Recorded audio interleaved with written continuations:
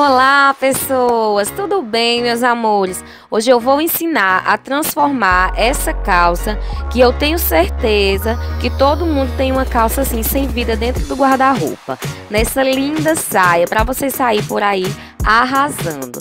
Não esquece de deixar o like, de se inscrever no canal, clica no sininho para ativar as notificações para ficar por dentro de tudo que eu faço por aqui.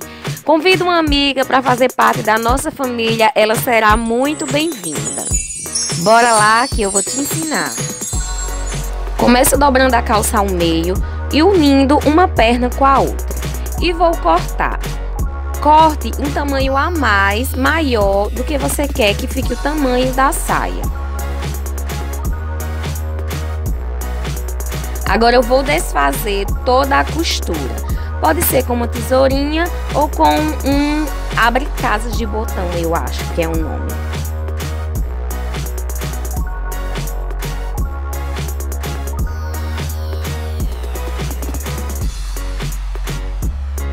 Vou desfazendo toda a costura até em cima no zíper.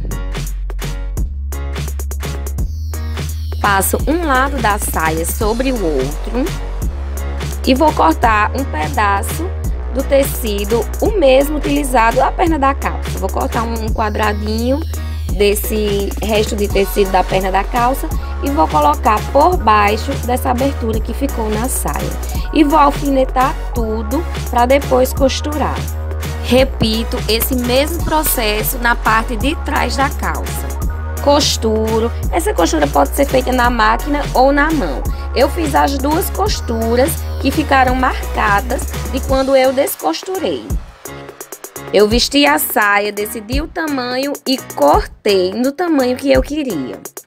Agora com a faca de mesa, eu vim fazendo o desfiado da barra. Vá puxando, passando a faca que vai desfiando facilmente. E ficou pronta. Eu amei o resultado. Espero muito que vocês tenham gostado.